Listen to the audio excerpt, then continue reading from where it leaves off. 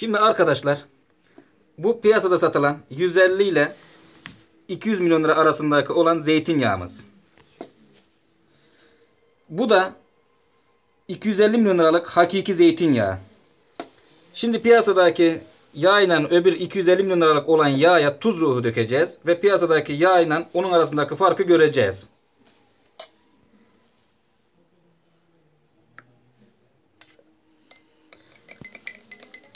Bu 150 ile 250 200 milyon lira olan yağ. Bakalım nasıl olacak. Kızarırken de konuşsak kızarmaya bakalım.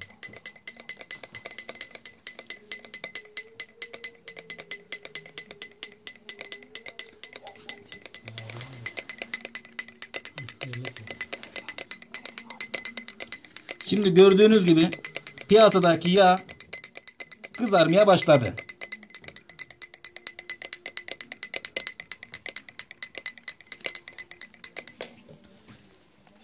Bundaki farkı gördünüz. Şimdi de 250 milyon liralık hakiki zeytinyağı.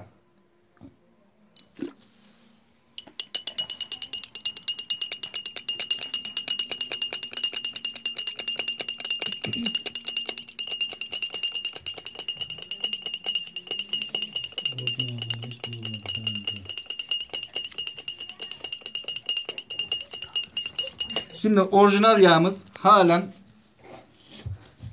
kendi rengini korudu. Ama piyasadaki yağ rengi bozuldu. Gördüğünüz gibi. Siz de böyle yaparak hakiki yağın hangisi hakiki yağ hangisi bozuk yağ anlayabilirsiniz. Sadece bir tuz ruhu.